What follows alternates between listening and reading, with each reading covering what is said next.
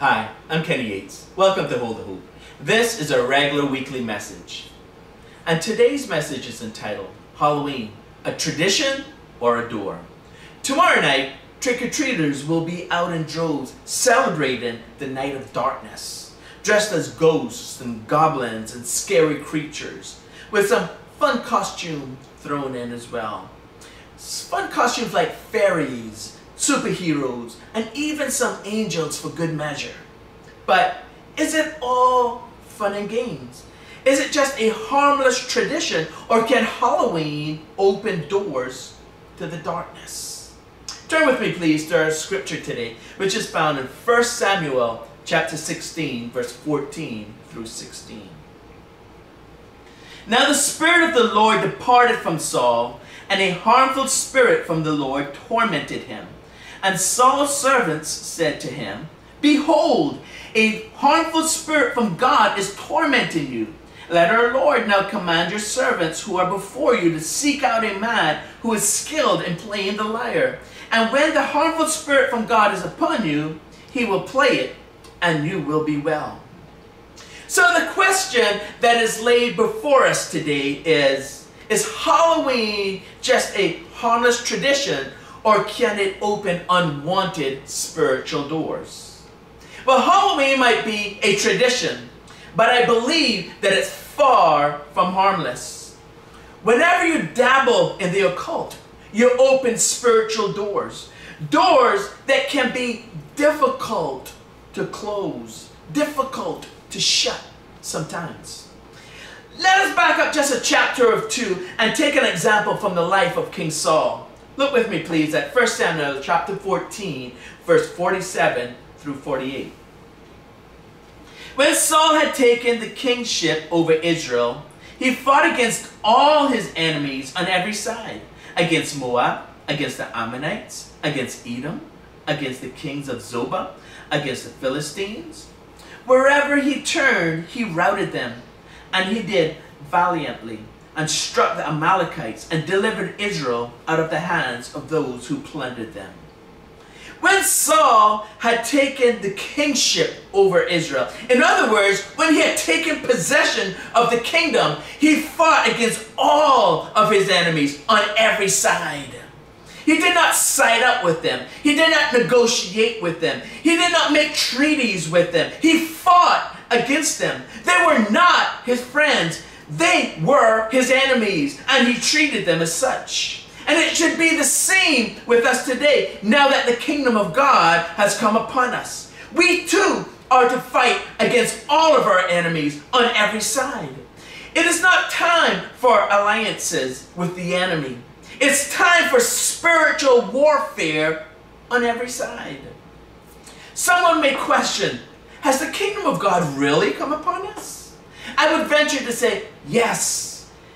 Yes, indeed, certainly the kingdom of God has come upon us. It is here now. Jesus ushered it in 2,000 years ago. He even told the Pharisees plainly in Matthew chapter 12, verse 28. He said, But if it is by the Spirit of God that I cast out demons, then the kingdom of God has come upon you.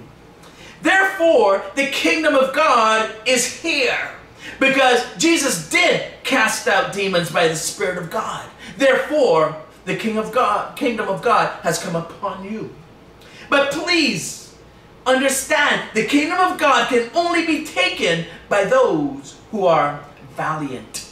That is, those who are courageous, those who are violent in the spirit, those who are spiritually violent. Look with me at Matthew chapter 11, verse 12. From the days of John the Baptist until now, the kingdom of heaven has suffered violence, and the violent take it by force. Jesus cast out evil spirits, and he expects us to do the same. He gave us authority to cast out demonic spirits, heal the sick, and yes, even raise the dead. So yes, that's right, I said it. We should be raising the dead. But you know what? There are those in the church who would rather make an alliance with the darkness rather than casting out that darkness. Others would even frown on people who operate in the spirit, in the spiritual. Those who, who because they enjoy the ways of darkness themselves. They will go as far as to persecute those who do such things, like casting out demonic spirits. And these are their, their fellow soldiers, if you can believe that. That, my friend, is called friendly fire. And I would suggest that you just search friendly fire sometime on the internet. The number of troops killed by so-called friendly fire is staggering. Look with me at the end of verse 47 and all of 48. 1 Samuel chapter 14, 47 through 48. Wherever he turned, he routed them, and he did valiantly and struck the Amalekites and delivered Israel out of the hands of those who plundered them. King Saul routed his enemies wherever he turned. And in so doing, he delivered Israel out of the hands of their enemies who plundered them. He fought valiantly. He fought bravely. And he struck the enemies continuously. He did not wait for them to regroup. Neither did he throw his lot in with them, but he delivered Israel out of, the, out of their hands that they might prosper once again from those who were plundering them because he stopped the plundering. Let me give you one more example. In the book of Numbers, Israel's war, what was warring against Midian, and the Lord commanded Moses to avenge the people of Israel on the Midianites. But when Israel went out to fight, they killed the kings, they killed the soldiers, but the women they kept alive, along with their children. They plundered all of the Midianites' goods and they destroyed and burnt all of their encampments. Then, after the fighting was over, they came back to camp and they brought with them the plunder. Let, let, let us read what happened. Numbers chapter 31, verse 12. Then they brought the captives and the plunder and the spoil to Moses and to Eleazar the king and to the congregation of the people of Israel at the camp on the plains of Moab by the Jordan at Jericho. Notice that the first thing that is listed is the captives. They brought the captives and the plunder to Moses and Eleazar and the congregation of the people of Israel. They brought the things that were devoted to destruction into the congregation of Israel. In other words, they brought the things of darkness into the presence of the Lord their God. Look at what happens next in Numbers chapter 31, verse 14 through 16. And Moses was angry with the officers of the army, the commanders of thousands, and the commanders of hundreds who had come from the service in the war. Moses said to them, Have you let all the women live?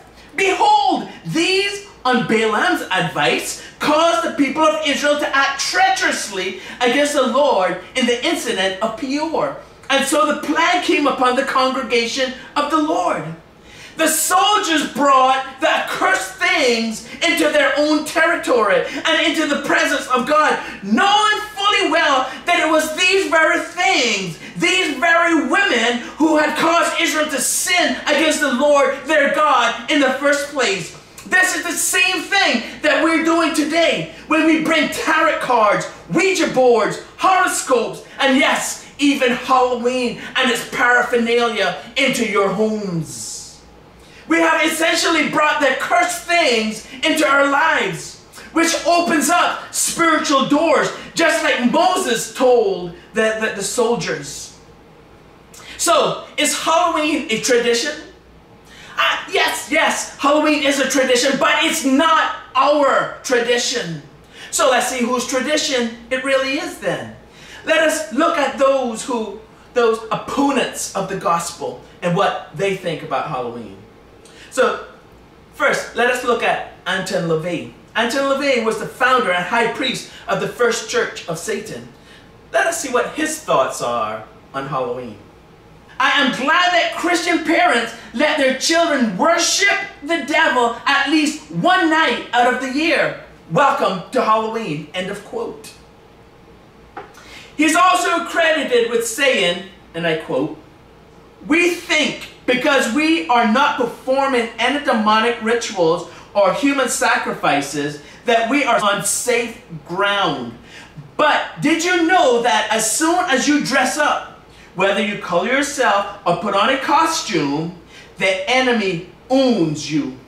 Because by doing so, you have turned over your legal rights and you have dedicated yourself and your kids to celebrating the devil's holiday. You have just made a pact with the enemy. And you are already sacrificing your children spiritually by dressing them up and changing their identity. End of quote. But does the church of Satan still believe that? Well, let's go and check their website to see what it is. They said on their website, and I quote, we see this holiday as a night when the mundane folk try to reach down inside and touch the darkness, which for Satanists is a daily mode of existence. Particularly in the United States, Halloween is a time for celebrating monster films, wearing costumes of a macabre nature, and evoking the thrill of fun fair. The thrill of fun fair. And a macabre nature would be a grotesque, a horrible, a ghastly, grim nature. So let us now take a look at another witness, John Ramirez. John Ramirez is an ex-Satanist who claims that he was a general in witchcraft. He said that he would sit and talk with the devil just like you and I would sit and talk with each other.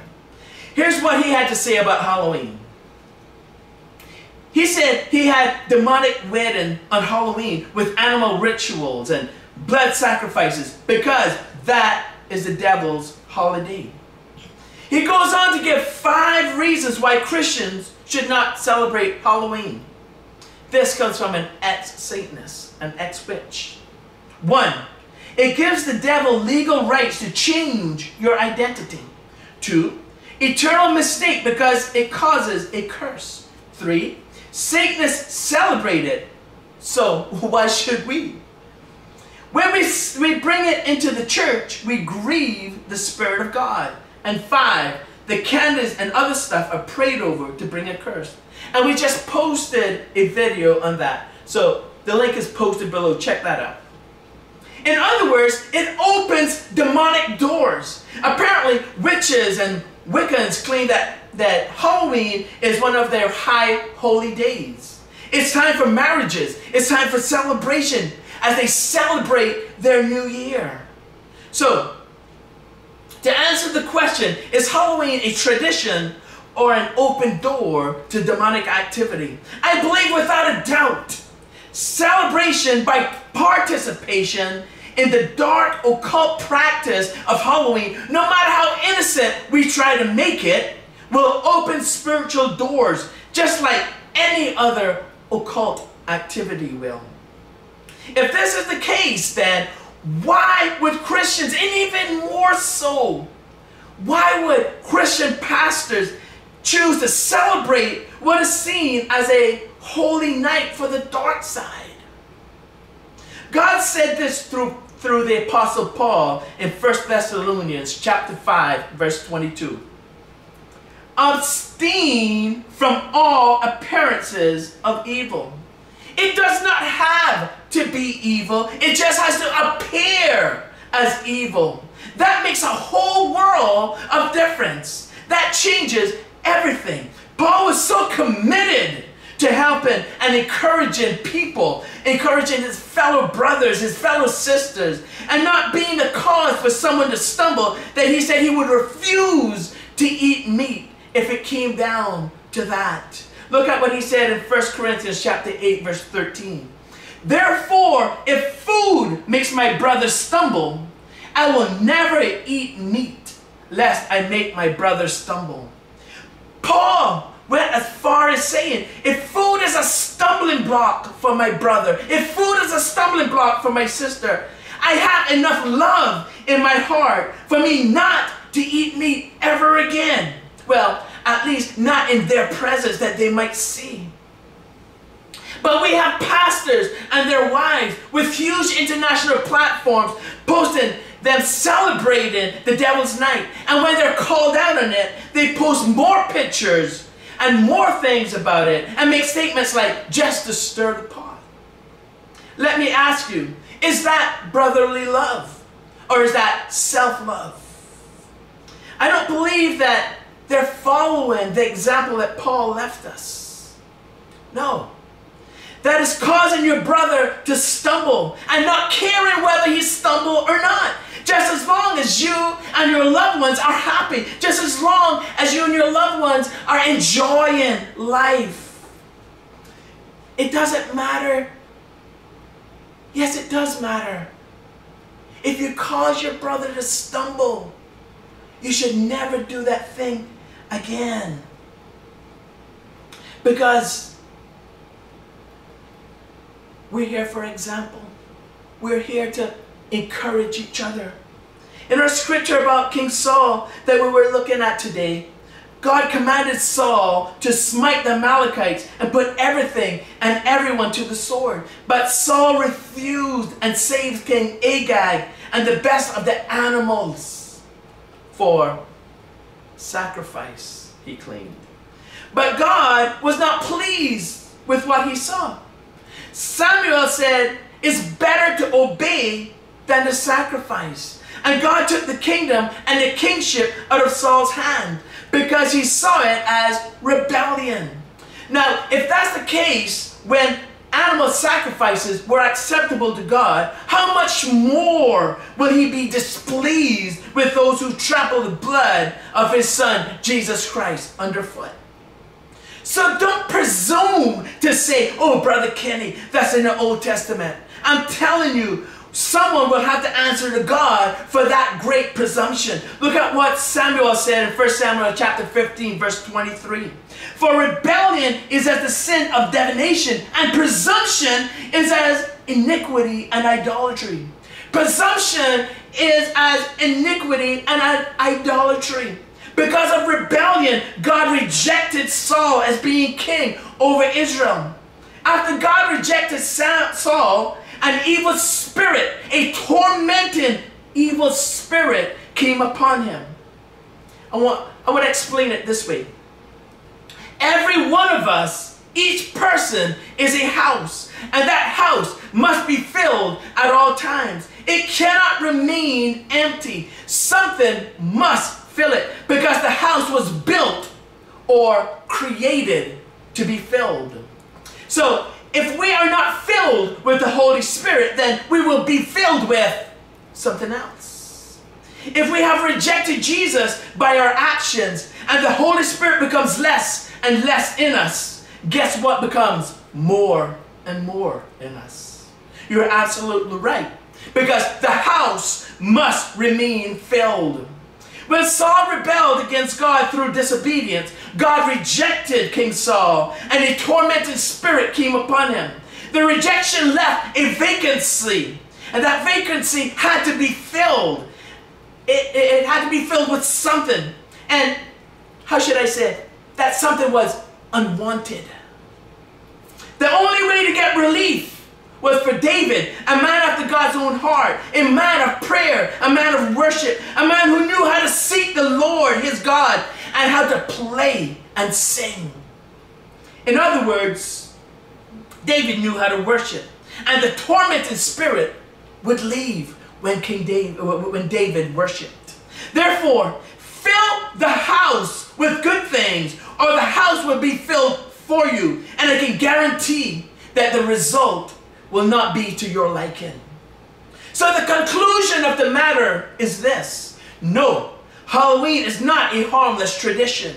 It is an open door to the spirit world that can lead to lead you or, or, or someone that you love your descendants into walking in the ways of darkness.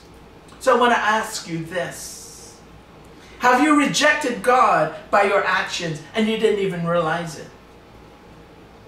Have you made an alliance with the dark side by your choices? Or maybe you have committed the sin of presumption, which is as a sin of iniquity and idolatry. Because for some reason we kind of overlook the sin of presumption. The bottom line is, do you know Jesus at all? Do you know him as Lord and Savior? I want you to know this. You cannot inherit life without Jesus. If you reject him, he will reject you. If he rejects you, you have no life. Eternal life is only through Jesus. So would you like to know him today? If you would, here's how. All you have to do is to say this prayer with me and believe it with your heart. Heavenly Father, forgive me of my sins. I'm sorry for the sin of presumption. I'm sorry for sinning and rebelling against you. Help me to live for you. I accept your free gift of life. In Jesus' name. Amen. If you pray that prayer, the Lord is faithful and just to forgive you of your sins and cleanse you from all unrighteousness. What I want you to do is to get yourself a Bible and read your Bible every day. Get a highlighter. Highlight the verses that is meaningful to you, the promises that you can stand on. Find yourself a Bible believing church. Stay away from those progressive churches and find yourself a Bible believing church that believes there's a right way and a wrong way. Join that church. Be discipled in that church. When Jesus comes back, he'll find you doing what it is you should be doing. He'll say, Well done, my good and faithful servant. I want to say thank you so much for joining us. I appreciate you. The Lord bless you. I'm Kenny Yates. Be blessed and stay blessed.